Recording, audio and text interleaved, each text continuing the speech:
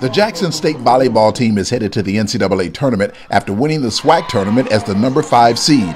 The victory comes in the final year of the legendary coaching career of Rose Washington, who retires at season's end. Well, I, I told the girls, and uh, I might as well say, you know, uh, this is my last year.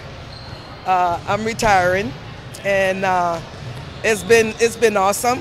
How does it feel to you that you have put volleyball on the map, not only here but in the SWAC as well?